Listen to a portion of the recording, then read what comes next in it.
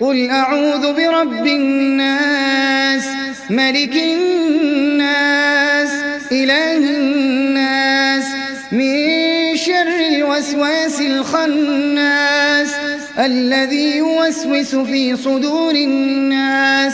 من الجنة والناس